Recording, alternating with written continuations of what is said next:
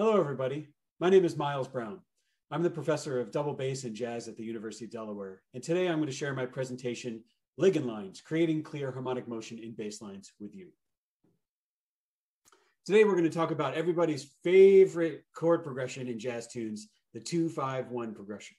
Now, what is a Ligon line? Well, this is Bert Ligon. He is uh, the director of the Jazz Studies program at University of South Carolina in Columbia, South Carolina. He's a guitarist and a pianist and he's an author and composer. A couple years ago, he wrote this book called Connecting Chords with Linear Harmony. I stumbled across this book and I immediately knew that it would be useful um, for my jazz improvisation classes, but also for my bass uh, lessons too. Um, it had a, a, lot of great information about how to construct solos um, and how to play over 251 progressions uh, using three basic outlines that he describes in the book. Now, he says that uh, jazz solos are not made up of solely these outlines, but he found after transcribing uh, hundreds of solos, uh, solos that he transcribed and that his students transcribed, that he found that these outlines were in almost every bebop oriented solo um, that uh, he looked at. And so he decided to take that information and create this book. Ligon states, outlines are harmonically specific lines that connect chords through guide tones and the operative word here being uh, the word connect. Uh, sometimes when we're creating bass lines, when we're walking lines, we tend to start on the root and maybe we'll lead that to another root and then finally to another root and root and root, root, root, root, root, etc. Uh, what I found that is that uh, Ligon's ideas help us get away from that root-based baseline motion. So now while Ligon's ideas are mainly applied to jazz solos, in other words, improvised solos from horn players or pianists, I use them with my students at the University of Delaware and uh, my private students uh, to progress past basic chord tone baseline construction. In other words, in a 251 progression, you might hear something like this.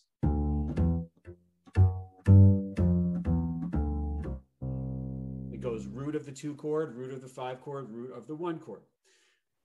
These outlines help us get away from that cliche progression.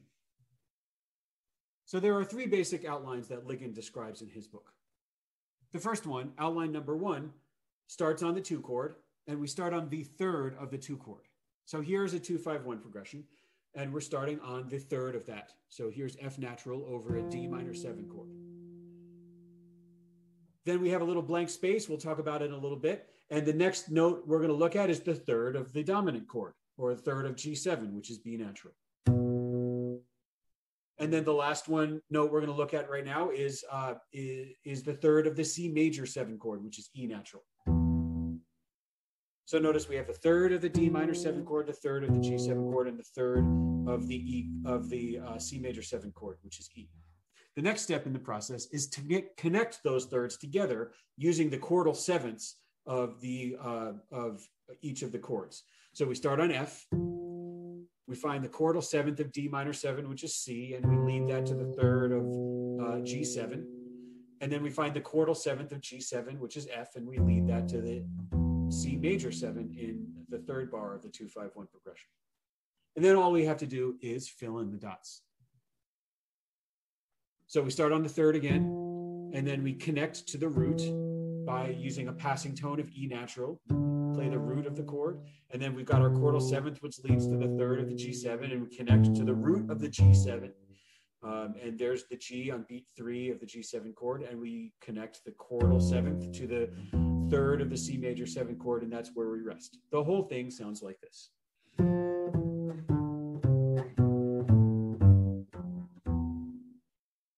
we get a nice uh, scalar line that descends you can actually hear the harmonic motion um, without even uh, without playing the roots in a traditional way. For example, uh, if we I play this over the roots, it may sound like this.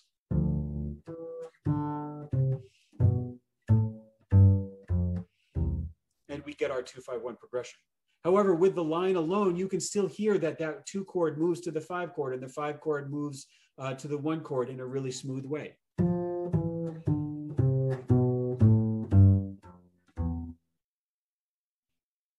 So that's uh, outline number one. Let's move on to outline number two.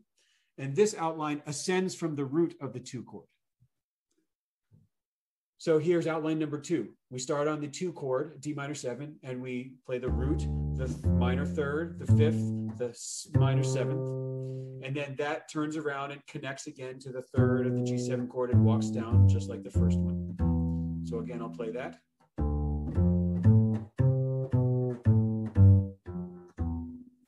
Ligon mentions that this sounds like uh, Thelonious Monk's famous tune Round Midnight, which is here. And if you'll notice in the fifth measure, we have this outline, but in the key of G flat major. We're starting on the A flat minor seven chord. That sounds like this.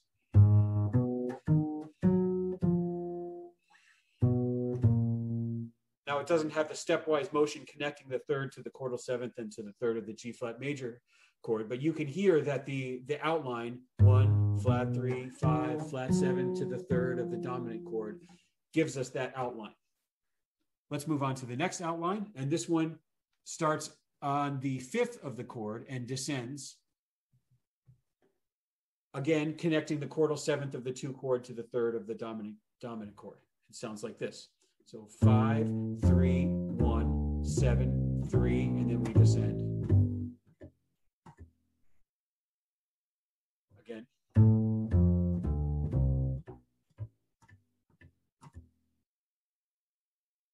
So we've got three thing, three outlines now. We've got the first one, which is descending from the third to connect to the third of the dominant chord. We have ascending from the root, starting on the root, ascending by thirds, and then connecting to the third of the dominant chord, and then descending from the fifth, and again connecting to the third and descending to the third of the major seven chord in the third measure.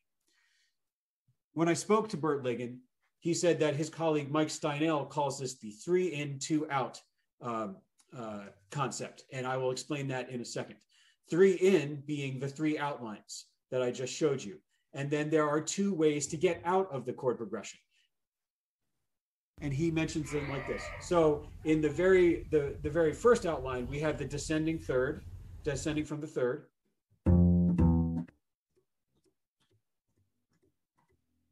Okay, and uh, so it's what I'm calling outline one, variant one. The second variant comes in the dominant uh, chord measure on the G7, where instead of descending from the third to connect to the third of the major seven chord in the third measure, we're now uh, turning around and arpeggiating back up. So we descend to the third, and now instead of continuing down, we turn around and arpeggiate up to the fifth, and then the seventh of the chord, and then the ninth of the chord, and then we resolve to the fifth of the major seventh chord after that. I'll, I'll play that one more time.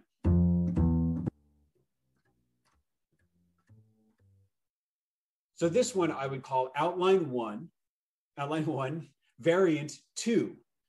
So there's three outlines that start the measure and then two variants to close out uh, the progression. So let's take a look at that one again. Here is variant one versus variant two. Uh, the first line here is variant two with variant two.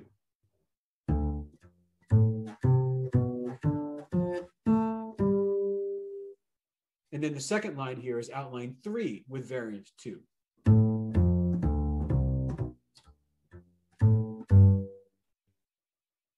One thing I want to point out here that's very interesting is that we have um, this section here, which, as I played before, and then we go up. It's very common for bebop musicians to actually take that measure and uh, displace the octave, what's known as octave displacement.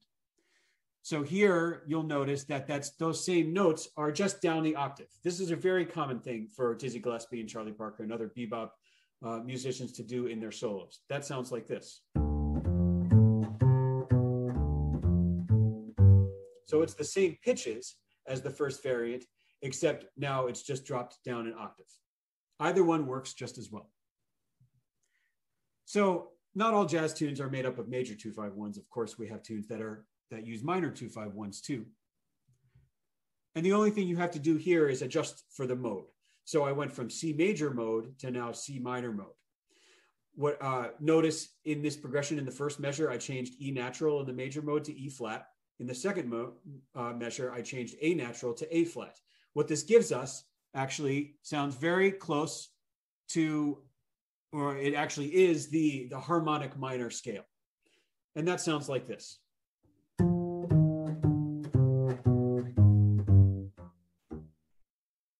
With the bass notes.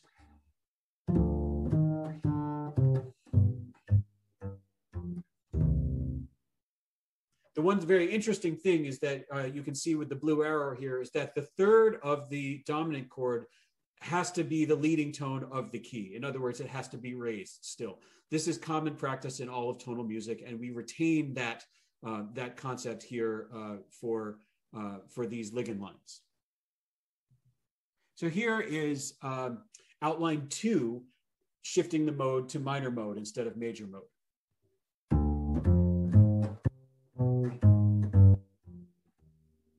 Notice again that I used A flat in the first measure to give us the flat five of the D minor seven flat five chord, and A flat in the second measure to give us the flat nine of the G7 flat nine sound. And here's what uh, outline three, variant one, would sound like in the minor mode.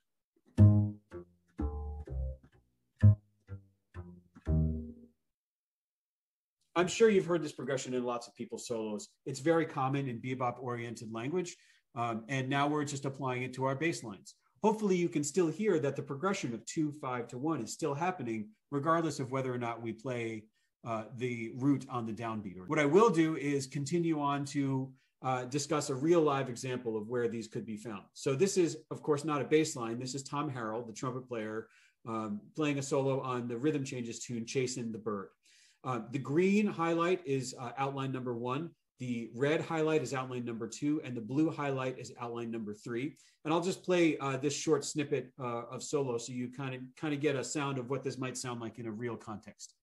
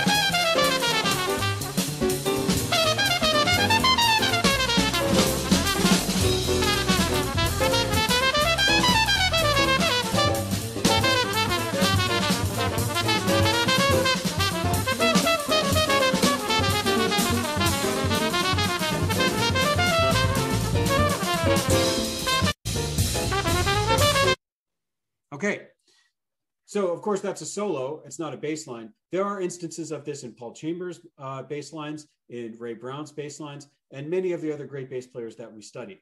I uh, challenge you to go find some transcriptions where uh, where that happens. But let's make some on our own. So let's practice walking over changes together. To practice this in context, we'll use the chord progression for the tune Tune Up by the saxophonist Eddie Vinson.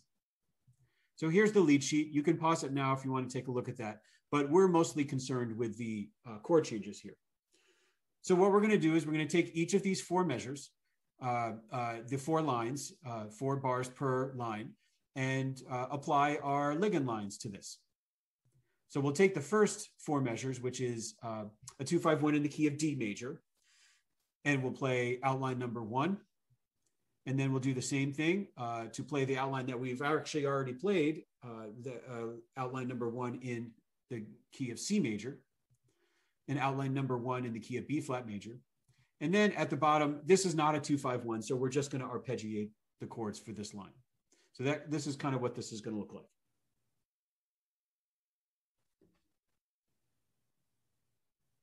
So here we go. Outline one, variant one which, as a reminder, starts on the third of the minor chord and descends to the third of the dominant chord and the major chord. So here we go. One, let's find our G's.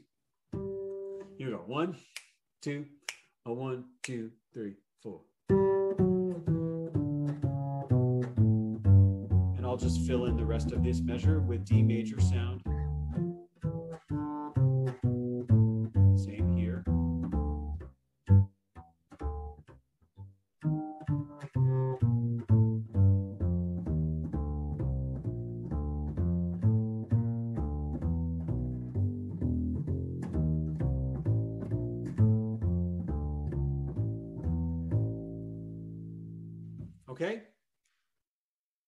Notice in these measures, you can fill in those chords however you like, as long as you're sticking to the, the, the mode of D major, C major, and B flat major.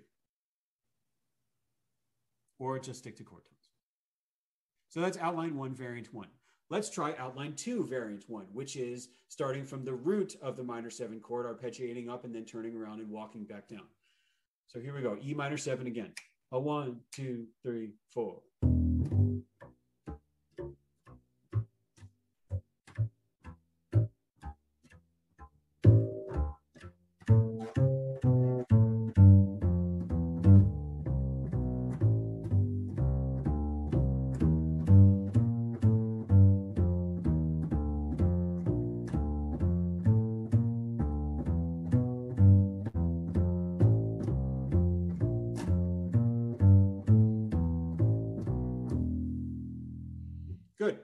At any time, feel free to pause this and go back and listen again, or you can uh, pause it and uh, practice on your own. So here's outline three, variant one, which as a reminder, starts on the fifth of the minor seven chord and descends to the third of the dominant chord and the major seven chord. A one, two, three, four.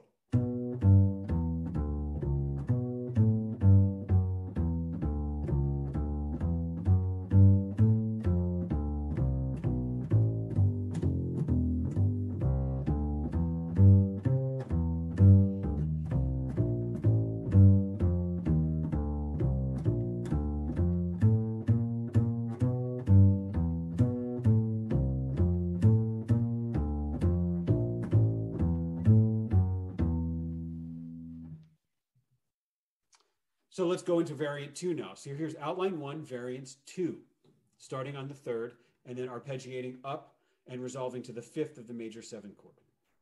One, two, a one, two, three,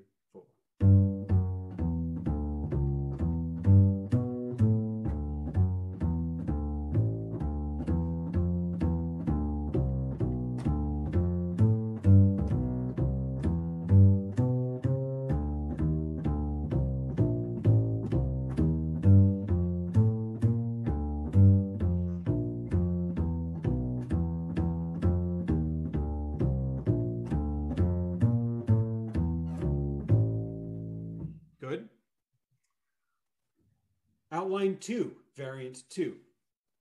A one, two, a one, two, three, four.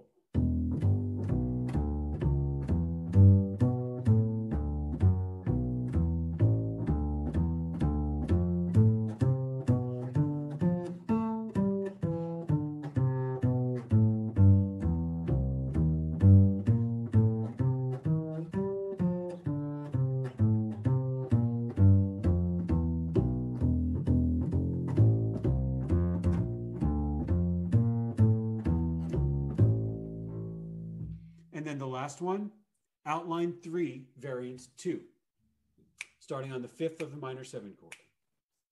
One, two, a one, two, three, four.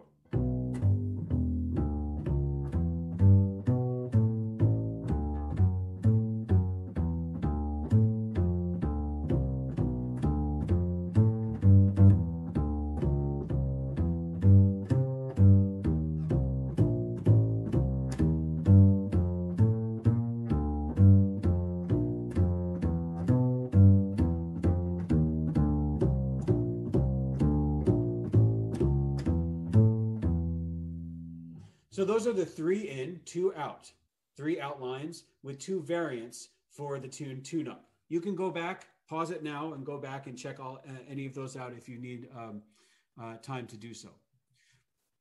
But I thought I would uh, do one last thing with you and uh, play a tune that has both major 251s and minor 251s. Now I'm going to improvise a bass line. I'm going to use some of these outlines, some of these variants, or I may not to me, the key of a good walking bass line is actually in the variety of the line. So not repeating yourself too often from one um, phrase to the next. So I may play a walking line that in incorporates these outlines. I may not. Uh, we'll see how it goes. I would encourage you to pause it, maybe rewind uh, and transcribe the line uh, if you like the line and you want to play it yourself, or to pause it right now, look at the lead sheet and improvise your own, practice improvising your own uh, with your bass and see how you do. So here's autumn leaves. One, two, a one, two, three,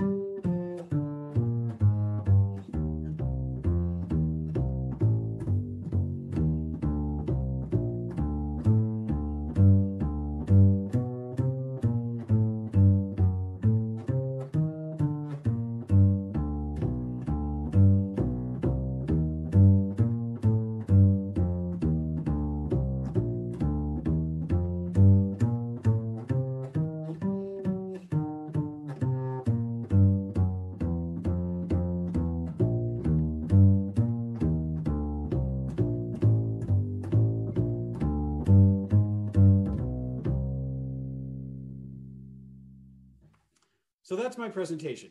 I hope you got something out of this. I hope you're able to look at these lines, these lines by Bert Ligon, and uh, start to use them in your own baselines uh, when you get a chance. I do have to mention, uh, I'm not getting any kickbacks or anything from Mr. Ligon or uh, from the publishing company. I just found that this was a remarkable way and a concise way of organizing some of this tonal language, some of this information um, to provide for my students to help them understand how to play over 251 chord progressions in a little bit of more creative way. If you have any more questions uh, for me, I'd be happy to answer them. You can find me at jazzbass at udel, udel.edu or looking at the University of Delaware uh, School of Music website. And I do want to say a big thank you to uh, Bert Ligon for writing this book and for talking with me uh, the other day about his uh, thoughts on it. So thank you very much. Thank you also to the USB, uh, to the USB. Thank you also very much to the ISB for having me uh, present this information to you. And I hope you have a good rest of the convention. Thank you.